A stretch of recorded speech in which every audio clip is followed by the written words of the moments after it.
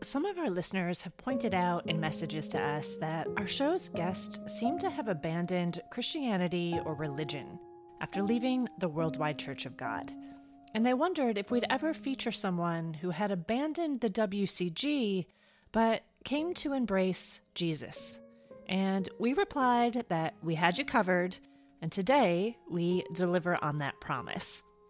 Meet Dave, the senior executive pastor at the Life Church a non denominational Christian congregation in Texas. I want to talk to you today about Sabbath.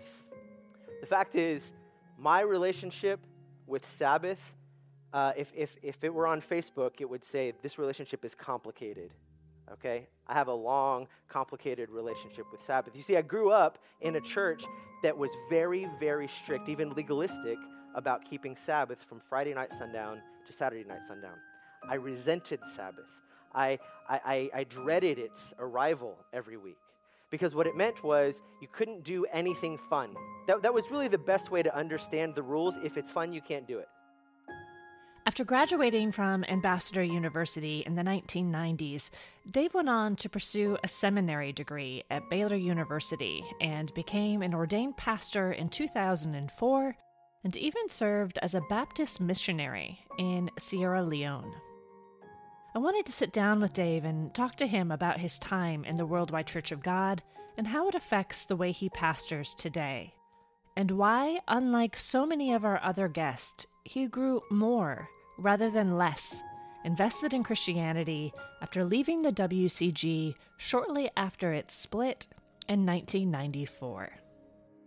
From 13 Media, I'm Tricia Jenkins, and this is Worldwide, the Un chosen church. As this series illustrates, a lot of people experienced what might be labeled as church hurt or church based trauma during their time in the WCG. That hurt took many forms, from racism to the death of loved ones, to financial hardship, to shunning, to sexual abuse, and a lot more. And perhaps because of that hurt, a lot of people ended up turning away from organized religion, from Christianity, and really even from God in the aftermath of that experience. Dave, however, did not. I joke with him that he actually doubled down on Christianity by not just continuing to attend an evangelical church, but by making it his career. So I wanted to start by asking Dave why he thought he continued to pursue Christianity after leaving the WCG when so many others did not.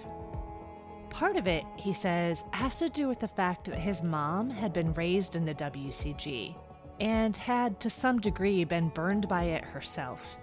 And so, while she was still a member of the WCG when he was born, she was mm, not as strict as other parents about what Dave could and could not do when it came to dating or Friday night activities.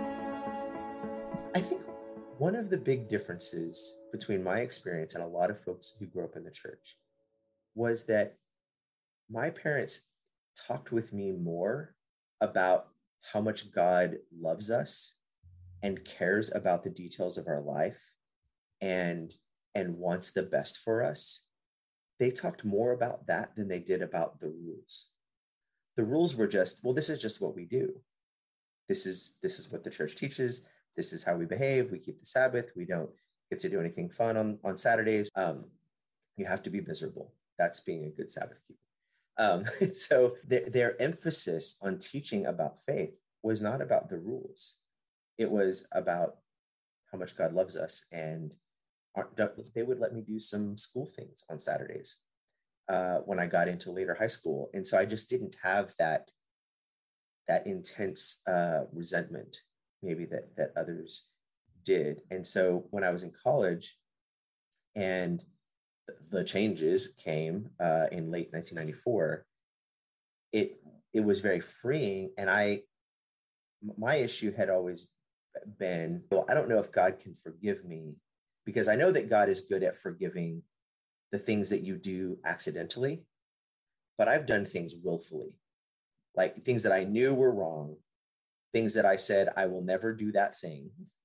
Um, and then I said, uh, actually, I want to do that thing. And I did them very much rebelling against what I believed was God's law, God's desire for me. So I just was like, well, I'm I'm a lost cause now because that's unforgivable. And it was when I was a freshman in college that the Bible professor said at, at the very end of the lecture, he said, There is no sin so great that it cannot be covered by one drop of Jesus's blood. And it, it really confronted my arrogance that my sin was bigger than God's forgiveness. And and in that moment, I accepted that God's grace was bigger than even my willful sin. And I, I that was the moment I think that I became a Christian, that, that I, I engaged with and accepted um, and embraced the grace of God, that, that God's favor for us is not based on what we do, which is what I had always grown up with. Dave says that up until that point, he hadn't really considered himself to be a full blown Christian. And that was because he wasn't yet baptized into the Worldwide Church of God. And because baptism was such a big deal in the church, he said he just never felt like he was all in. He said that at the time, he didn't really think that you could really start a life of faith until you had made that commitment. And that commitment, as he understood it at the time, was really supposed to be the result of an intellectual journey or an acceptance of a set of laws and doctrines and rules that you could follow to earn your salvation. But that outlook started to change when Joseph Tkach and other church leaders began suggesting that Christianity was more than just about following a set of rules or intellectually embracing a set of doctrines.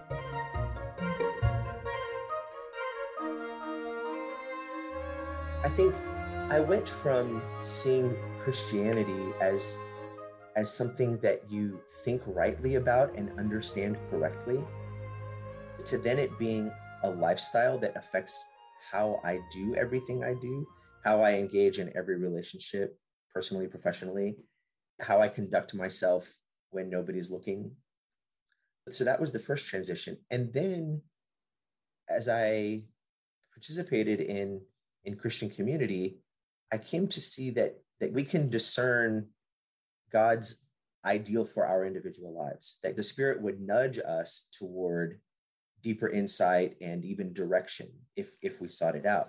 And that was fascinating to me because that had never been a part of, of, of faith growing up. And so as I began to explore this, and I had a couple of, of mentors who would talk about like, oh well, well, God, God told me to do that. And I was like, whoa, whoa, whoa, slow down. What are you talking about? Like, are you talking about like an audible voice? Because that just that's just crazy. And they're like, oh no, no, nothing like that. It's and they they talked me through how to how to listen to God and the nudgings of the Spirit. And so the more I I did that, I was given opportunities to to teach the Bible uh, in at church, and that was very fulfilling. And there came a point where I just I just wanted to read the Bible all the time and I wanted to to learn more and more and more and I would just listen to the New Testament back and forth to work on my long commute every day and I would listen to the whole New Testament two or three times a month. And that changed it changed me. Like I started being different. And I liked that change. I liked how I was a better person.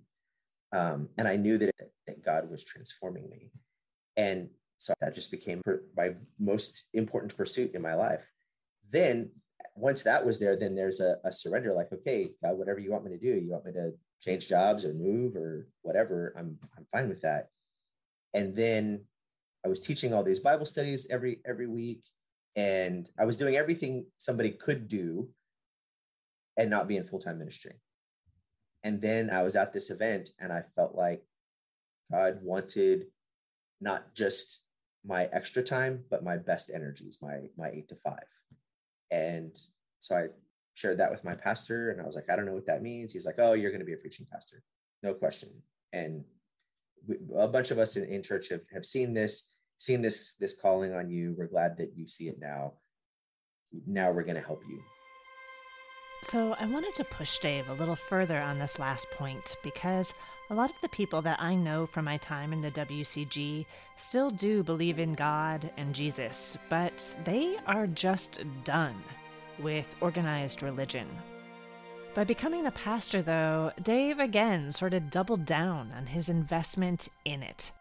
So I wanted to ask why he thought that aspect of religion or spirituality was really important. So, in one sense, institutionalizing is just another way of saying organizational survival, right? So if you don't institutionalize something, it it doesn't last more than one generation. And so it's necessary, if not always good, to have institution. More so for me is what I see in the New Testament, where Christianity and following Jesus was always lived out in a community of others. From the earliest Christian writings, besides the Gospels, in the book of Acts, it was always the community where God did amazing things. And it was the community who, who set apart a handful of people to go and take this good news to other cultures in, in Acts 13, where the church at Antioch sets aside Paul and Barnabas to go take the good news to the Gentiles. And so e- even this sort of almost lone ranger, I'm going to go take this good news to somewhere else, it's still sent by a community. And it's in the community that that faith is lived out. And it's sort of uh, the best place to practice loving people is with people with whom you have this in common, this, this faith in common.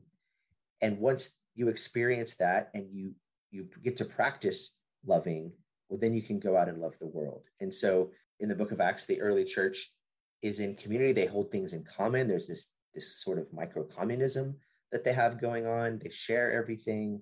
They pray together. They eat together. They learn together. And then that spills over into hope. People are people are throwing away their babies because it's a girl and not a boy. Let's go, let's go pick up that little girl and, and take care of her. But oh, the people are sick and dying and nobody cares we're going to go take care of them. That that love overflows. And, and even even jesus says to his disciples okay here's how everybody's going to know that you're my disciples if you love one another. That that's the first step and then then you're going to take that love beyond this this community. And so i guess it, it's just what i find in scripture is that faith is always lived out in a community. It's not something you do in isolation but Dave admits that finding a community a church that works for you can be a complicated process, and that after he left the WCG, it took a while to find his home.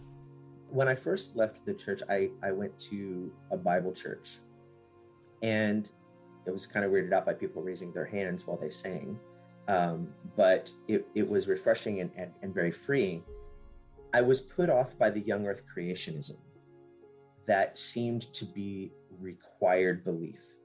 And then there was a little bit of what felt like pastor worship. Like the pastor said, therefore it's law. You can't have a different opinion and you certainly can't express it. And I was like, ah, heck no, I don't do that anymore. And so uh, uh, there was a guy at, that I worked with uh, who was just a couple years older, but he was way ahead of me spiritually. And and I was telling him some of my concerns about my church, and he's like, "Hey, why don't you come come visit my church. And it was a Baptist church. And it worked better for me. And so what I liked about Baptists was that there was almost an, an overcorrection against pastor worship. Like pastors are really not very different.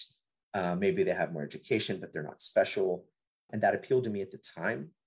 And also a, a significant emphasis on, on scripture and so a church that, that wouldn't go there would be uncomfortable for me. And the congregational authority, congregational autonomy, in the sense that each congregation was not subject to the rule of any other congregation or anything outside of that congregation, and that the people had the authority and it, it trusted the priesthood of the believer, which is a core Baptist doctrine.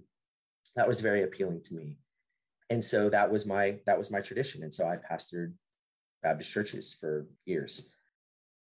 Dave now ministers at a non denominational charismatic church, and we'll get to why he made that switch in a bit.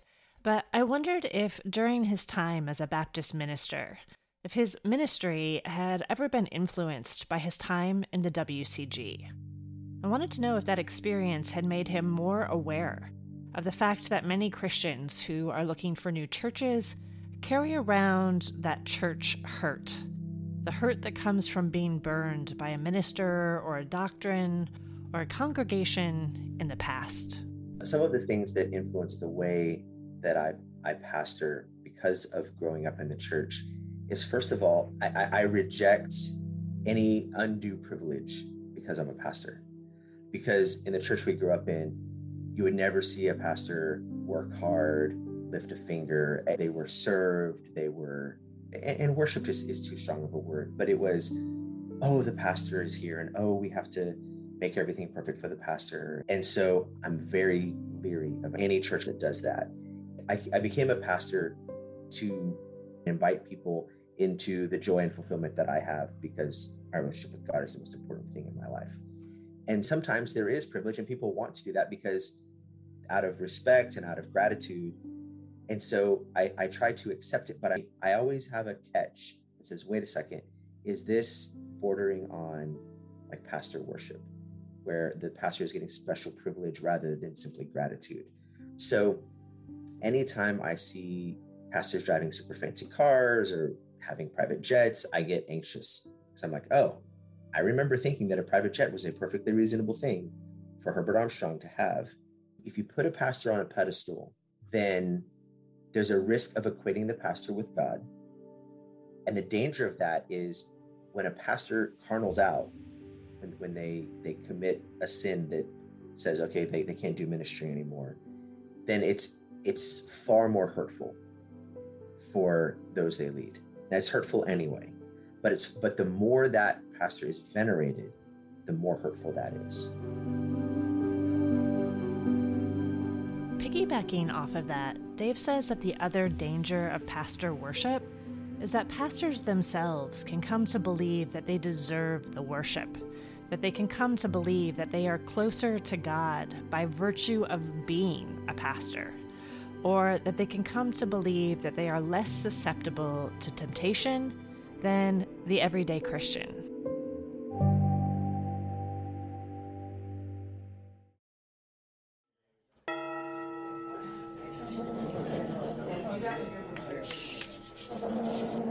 First day of seminary, the professor of my introduction to theology class, he said, You are coming here to this class to learn things that you will never say, you will never talk about with the people that you serve. He said, The reason you study these things is because when you go see a doctor, you want to make certain that she knows far more than she needs to to treat this little thing on your arm. You need to know far more theology than the people need you to know. Do not think it makes you a better Christian. And, and, and that it had a significant impression on me Dave says that because of his time in the WCG, he's also very wary of anything that resembles a caste system because it often prevents members from serving the church. He also doesn't like any kind of top down ordainment system. So, one of the things that troubled me about growing up in the church is there was there was almost like a caste system. At the top was Mr. Armstrong or Mr. Tkach, and then the senior church administration people, the people who taught at the at the church's college. Then there was pastors, and below that, associate pastors, and then elders, and then deacons, and then everybody else. And and appointment to those positions was always top down, and it was always identified by somebody above you, and it was very much a fixed mindset. Like you you you are who you are. Don't aspire for more. If if somebody said, "I think I want to be a deacon," because I they serve people in the church and I want to serve people.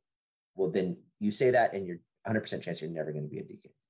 Um, if you're a deacon, you say, well, I think I'd like to be an elder, 100% chance you're never going to be an elder. It always has to come to you.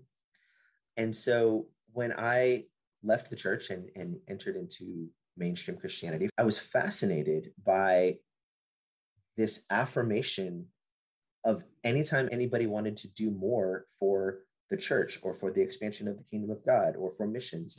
So I think one of the ways that growing up in the Worldwide Church of God affected the way I pastor people is I always believe that there's no ceiling in what people can do for God, that it's a matter of, of willingness, availability.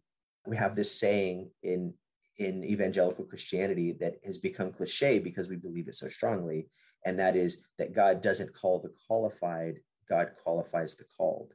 And so if, if God wants you to do something, the desire itself is evidence that God wants you to do it, and that then God will give you the ability to do it. And so definitely never telling anybody, no, you, because of who you are, you can't do something for God. That is a big, a big thing that informs the way I pastor. And as to the point on how Dave approaches pastoring new members or even old ones, knowing firsthand how churches have and continue to hurt members, he had this to say. To the question of how do you how do you serve people who've been through this kind of trauma? Anybody with significant pastoring experiences knows that most people have church hurt, not just because they were in uh, a cult or, or a high demand group, but most people have been hurt in church because churches are full of people who are imperfect.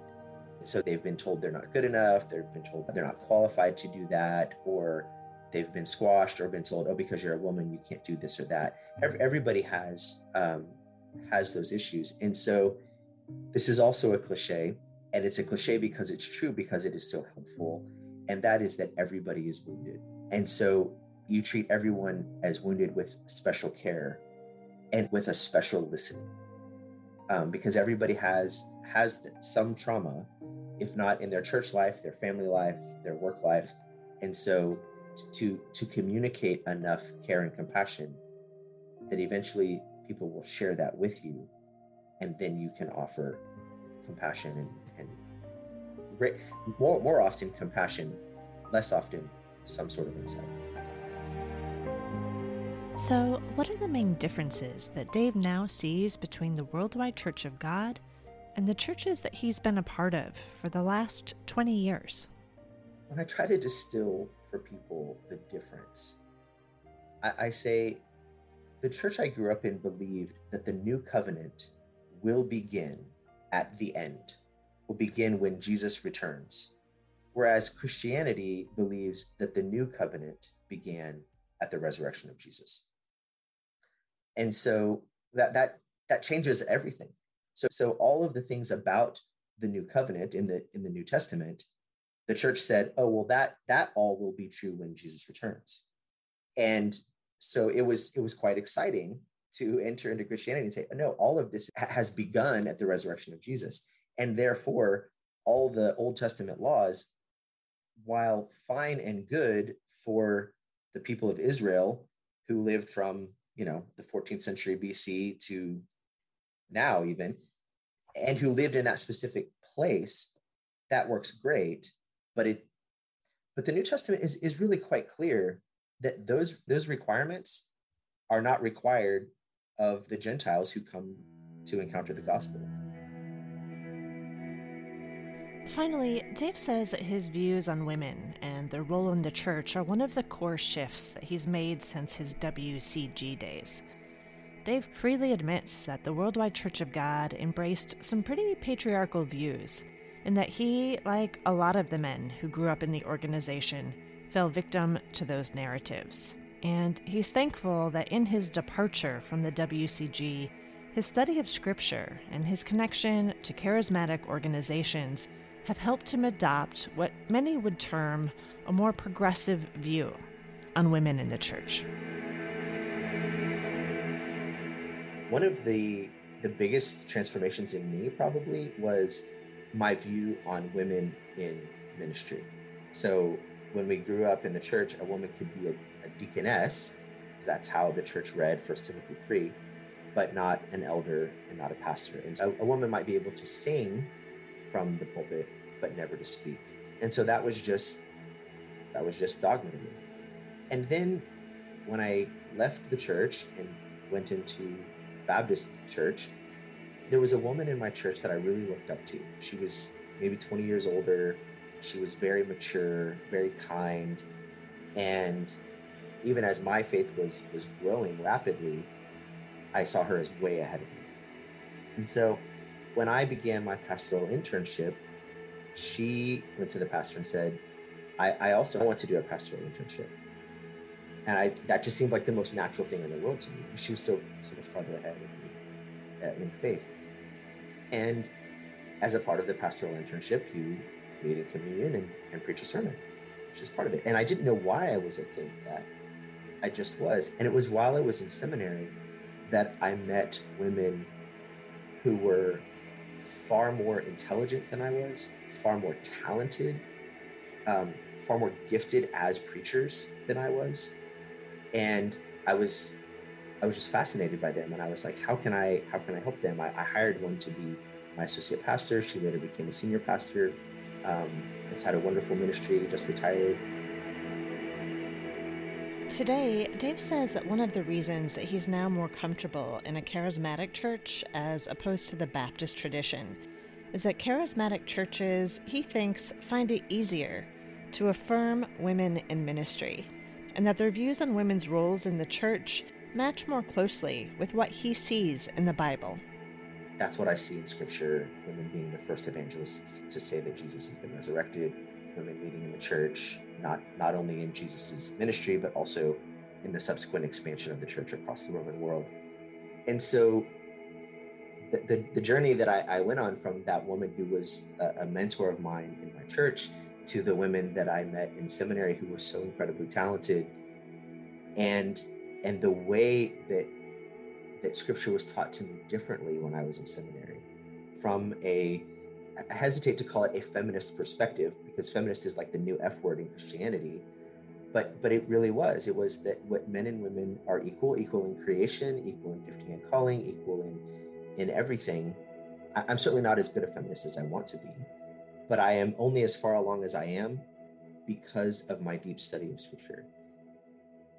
So, what exactly were the specific scriptures or stories in the Bible that Dave points to as key to his transformation, or that might help to convince others that women should have a stronger role in ministry?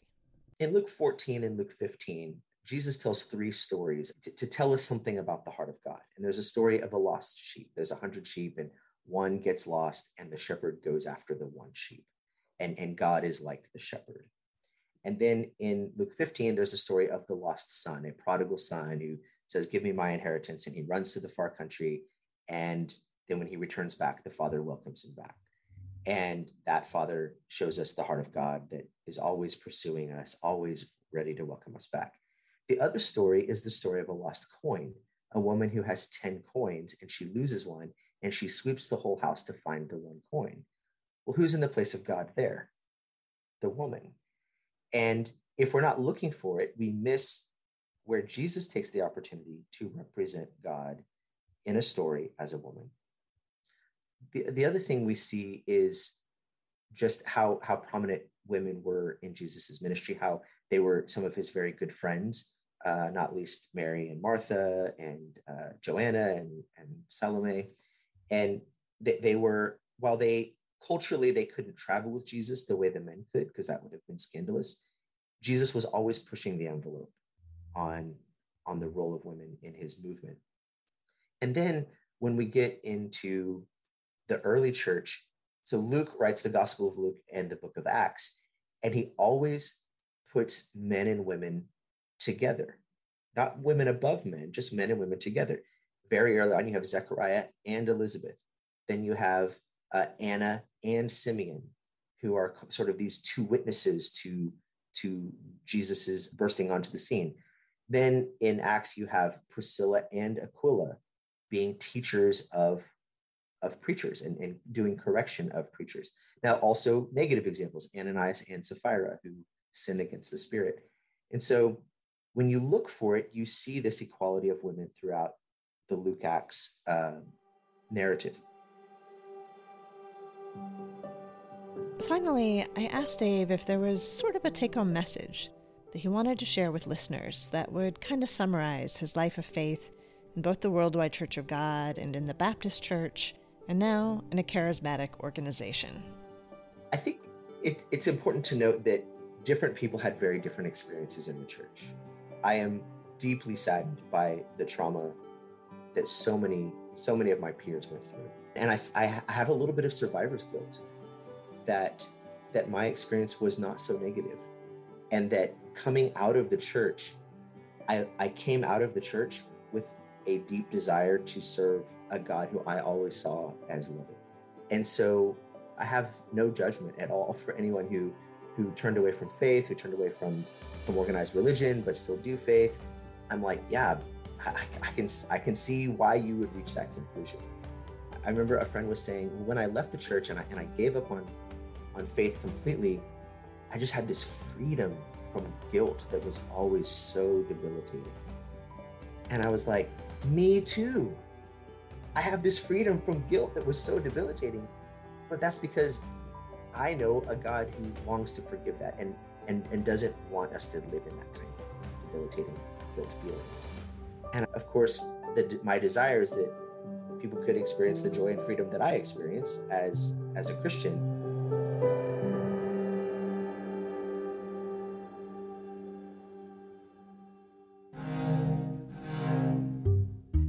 Next up on Worldwide, the Unchosen Church. The worst part of it was the death threats. Oh my, I it would be a nice normal day. My phone in my office would ring. It would be a call from some state institution, like one I recall vividly was Texas, and they were telling me that it's their duty to inform me that they have a person on 72 hour hold because he has a rifle and he wanted to come out and shoot me. Join us next week as we drop our last two episodes in an exciting double feature. We'll start by going behind the scenes of The Changes with none other than Joseph Tkach Jr the third and last Pastor General of the Worldwide Church of God, and the recently retired president of Grace Communion International. You can listen to this episode on Apple Podcast or wherever podcasts are made available. Worldwide, The Unchosen Church is written, produced, and hosted by me, Tricia Jenkins. Music in this episode was licensed by Soundstripe Sound design and editing was done by 13 Media. If you would like to send us a question or a comment, please reach out via email at worldwidepod11 at gmail.com or DM us on social media. You can also find us, as always, on Instagram at Worldwide Pod and Twitter and Facebook at Worldwide Pod 11. Until we meet again, we hope that your hearts will be as full this week as your stomachs were 30 minutes after the Day of Atonement ended. Worldwide, the Unchosen Church is also proud to support the hashtag I Got Out movement, which empowers survivors of cults and other high demand groups to share their stories online as a catalyst for education, prevention, and healing. Learn how you can share your story and support other survivors at IGotOut.org.